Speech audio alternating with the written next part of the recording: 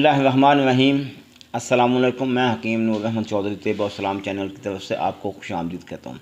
नाजरन, सबसे पहले आपसे गुजारिश है कि आप मेरे इस चैनल को सब्सक्राइब करें और साथ ही बेल आइकॉन के बटन को प्रेस करें ताकि हर आने वाली नई वीडियो आप तक बर वक्त पहुँचती रहे। आज की जो हमारी वीडियो ये मरदाना मवाज के मतलब का, ख़ास तौर पर उस तेल के मतलब जो कि बड़ी मेहनत के साथ तैयार होता है। इस तरह होता है कि जितने भी आम तिला हैं, वो बासानी तैयार हो जाते हैं। एक हम हम तेल बनाते हैं, हम इस तेल की पहले भी वीडियो अपलोड कर चुके हैं, धुएँ वाला तिला। धुएँ वाला तिला बनाने में ज़्यादा मुश्किल का मामला पैदा होता है और जब ये बन जाता है तो यकीन जानिए कि इसका रिज़ल्ट बहुत ज़बरदस्त है। और बंद लोगों को इस तरह खोल दे, देता है जिस तरह कि एक आम शख्स आम अगर कोई चीज़ सामने पड़ी हो या कोई उसमें अगर सुई के साथ यानी कि रास्ता गुजार के उसको साफ़ किया जाए या कोई उसको उसको प्रेशर पानी के प्रेशर के साथ किसी भी जगह को किसी वेन को साफ़ किया जाए तो इस तरीके के साथ धुएँ वाला तेल बंद लोगों को खोल देता है। तो बात करने का जो मकसद है वो ये है कि जिन लोगों ने मुश्तनी कर बैठे हैं अगलामबाजी कर बैठे हैं कसरत के साथ सोबत कर बैठे उनको जो बीमारियाँ लाक हो गई हैं, उनमें दो तीन मामला सामने आते हैं। जब इंसान अगलाम बाजी करता है मुश्तनी करता है, उसमें क्या होता है कि नफ्स के दरमियान के हिस्से से नीचे जानब दब जाता है, यानी वेन्स ब्लॉक हो जाती हैं। नफ्स में तनाव मुश्किल हो, होता है। नफ्स का साइज़ आहिस्ता आहिस्ता कम होना शुरू हो जाता है। नफ्स में तनाव आना बिल्कुल ख़त्म हो जाता है। अगर इंसान कसरत के साथ सोबत करता है या के मैंसस की हालत में गलती करता है। इन दोनों हालतों में नफ्स ढीला हो जाता है। इन दोनों हालतों में ये तो नहीं होता कि नफ्स के जितनी वेन है, वे ब्लाक तो होती नहीं है। मगर इसमें गर्मी की वजह से और मैंसस की हालत में गर्मी की वजह से, कसरत के साथ सोबत करने की वजह से वीकनेस की वजह से नफ्स ढीला हो जाता है। अब ये देखना होता है कि मालिज का काम होता है कि इस बेचारी पेशेंट को इससे गलतियाँ कौन कौन सी हुई हैं। पेशेंट ने आया कि हाथ का इस्तेमाल किया अपने अलामबाजी की की हुई है, या कि कसरत के साथ सोबत की है, या मैंसत की हालत में। अगर पेशेंट बाज़ अवत ऐसा होता है बाज़ उसको वो गलतियाँ जो उससे सरजद हो जाती हैं, याद भी नहीं रहती। तो इस सिलसिले में मैं आपको एक बात बता दूँ, कोई अगर मेरा कोई दोस्त, मेरे कोई शगिर्द, हुक्मा अगर ये मेरी वीडियो देख रहे हैं तो उनके लिए एक मैसेज मैं देना चाहता हूँ ताकि वो सबसे पहले पेशेंट का मुआयना करें, उसको देखें, जांचें और उसकी कंडीशन को नोट करें। आया कि उससे जो जो गलतियाँ सरजद हुई, उन गलतियों को नोट करने के बाद फिर उसको मेडिसिन दी। अगलामबाजी की मेडिसिन अलग होती है मुश्तनी की मेडिसिन अलग होती है, कसरत के साथ जो सोबत करते हैं, उसकी मेडिसिन अलग अलग है। इससे या गुजरा, इंतहाई सख्त तरीन गुनाह मैंसस की हालत में सोबत करना, इसकी मेडिसिन अलग है। तो इसीलिए जब इंसान एक टोटल तशीस नहीं कर सकता तो वो इलाज क्या करेगा? मैं आपको कई दफ़ा ये बात कह चुका हूँ कि क्वालिफाइड होना इतना मुश्किल नहीं है, जितना मुश्किल तशीस करके मेडिसिन देना। अक्सर लोग जिस तरह हम बैठे नेट के ऊपर बैठ के बहुत बड़ी बड़ी बातें करेंगे बहुत तेज़ बोलेंगे। जिस तरह कोई ऐसा महसूस होगा कि बहुत नॉलेज वाला शख्स है हकीम अफलातून जैसा लग रहा है, हकीम बुकरात लगता है। मगर जब फ़ौरन वीडियो बंद हो उन्होंने ये अल्फाज याद किए हुए होते हैं। तो उसके बाद जब वीडियो बंद होगी तो उनको ये नहीं पता होगा कि ज़ाफ़रान के साथ क्या देना अकरकरा के साथ क्या देना, इसका मुसलह क्या है, इस, यानी कि इसकी असलाह करने वाली मेडिसिन क्या है, इसका तरियाक क्या है, इसके अफाल असरात क्या है, इसका मजाज क्या है। अगर किसी को अकलकला का मजाज ही नहीं पता, अगर किसी को गुल सुरख का मजाज ही नहीं पता, अगर किसी को सोने का मजाज का नहीं पता, कस्तूरी का मजाज का नहीं पता तो वो इलाज क्या खाक करेगा?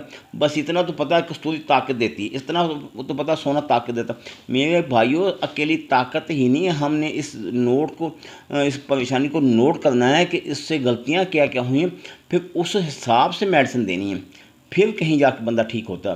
तो इसी सिलसिले में हम ये आपके सामने एक धुएँ वाला तलाश बहुत मुश्किल से बनता है। मैं आपको इसकी मुकम्मल तरतीब बनाते, दिखाता हूँ। ये देखिएगा, धुएँ वाला तेल है और इसको लगाते ही धुआँ निकलना शुरू होगा होगा। ये आप देखें। आप देख सकते हैं। ये देखिएगा। हमने इसी तरह इस तेल को लगाना है।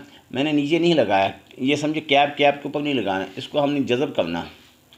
इस तरह जज्ब करेंगे, ये इस उंगल पे भी धुआँ निकल, जहाँ जहाँ तेल लगा, अगर इसकी लाइट हम ऑफ़ कर देंगे तब भी इसमें देखेगा।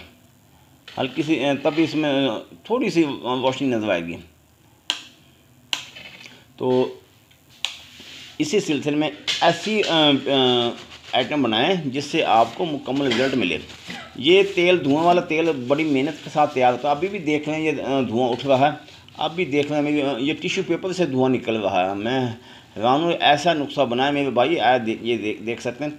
टिश्यू पेपर से धुआँ निकल रहा ये देखें। तो ये तेल जो तो बनाने में थोड़ा टाइम हमारा लग जाता है।